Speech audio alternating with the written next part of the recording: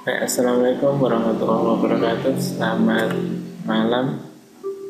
Sahabat, kali ini kita akan coba menjelaskan bagaimana cara login SIM PKB pada tahun 2017 Di mana kita akan menggunakan websitenya yaitu appsimpkb.id garis miring GTK Yang pertama, persiapan yang Anda perlukan yang pertama yaitu pastikan anda sudah punya akun yang diberikan oleh MGMP. Biasanya akunnya kira-kira berbentuk seperti ini ya.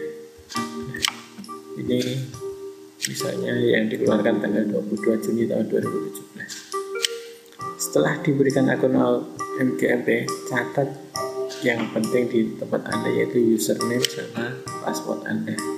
Kemudian yang ketiga yaitu jangan lupa menyiapkan alamat website yang kita tuju yaitu app.simpkb.id garis miring GTK Oke, kita akan mencoba mulai langsung saja.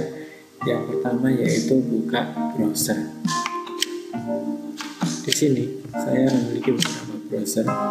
Ada Mozilla, ada Google Chrome Ada Internet Explorer dan lain sebagainya. Di sini akan saya coba menggunakan Mozilla Firefox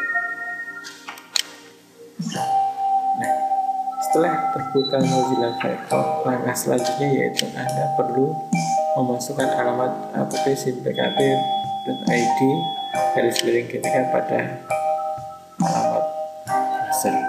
Kopikan saja. Nanti memasukkan alamatnya ada di atas paling kanan di search enter address atau alamat website yang kita masukkan. Kalau sudah masuk, kita akan masuk ke Selamat datang guru bahasa Masukkan username yaitu email dan kata sandi Anda. Di sini kita akan masukkan email yang kita diberikan oleh akun tadi.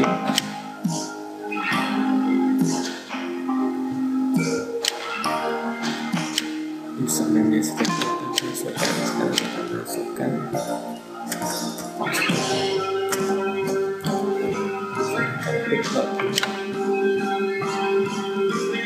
proses selanjutnya nah di sini anda berarti sudah masuk ke SIM PKB kalau sudah masuk ke sini. Sudah SIM username sudah selesai. Password juga sudah selesai. Selanjutnya kita cek data dan cek di sini anda bisa cek di sini. Anda berada di instansinya di mana? Kemudian maka pelajaran Anda sebagai peserta yang sebagai teknik berdasarkan setelah masuk Nah, di sini komunitas Anda juga terlihat siapa ketuanya, komunitasnya, kemudian kelas pembelajaran yang pernah Anda lakukan di sini. Kemudian, kalau misalnya Anda ingin melihat riwayat pencapaian, bisa juga Anda masuk ke kalau pertama Anda tadi dari atas, silakan turunkan ke bawah, ditarik, kemudian sampai ke bagian bawah fitur lain. Di sini ada riwayat capaian. Riwayat capaian di tahun 2017 di sini saya terlihat ada empat capaian yang kurang memenuhi syarat. Misalnya di sini kita lihat ada di modul KKA, modul KKB, ada modul KKE dan modul KKH. Sedangkan di modul yang lain termasuk memenuhi syarat. Sedangkan tahun 2016 ini adalah contoh hasilnya KKA, KKB, KKA. Saya tidak lulus di KKA, tidak lulus di KKE, sama kemudian tidak lulus juga di KKH. Ternyata di 2017 kira-kira ini yang masih belum Oke, sampai di sini. Kalau mau lihat fitur yang lain, di sini bisa lihat penilaian misalnya.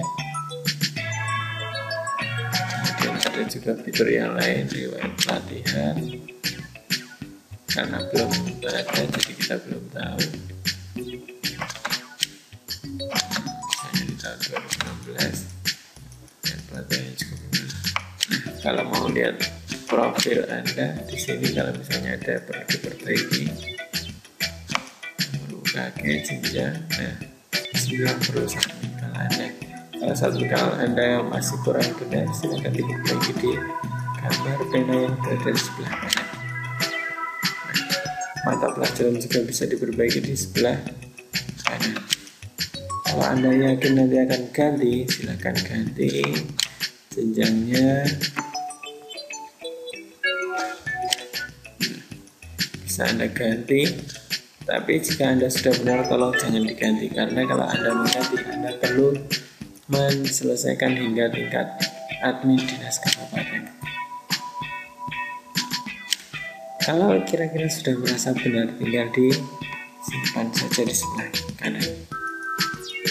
Nah, ini lihat saat mikalnya tempatnya di kelompok komunitas mata pelajarannya kemudian ada ketua komunitasnya siapa di sini kemudian mata pelajaran kita. Oke kita cukup sampai di sini. Simpan saja.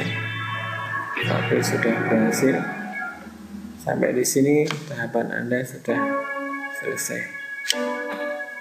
Cukup kalau anda sudah selesai jangan lupa kalau tidak di komputer sendiri silahkan logout kembali.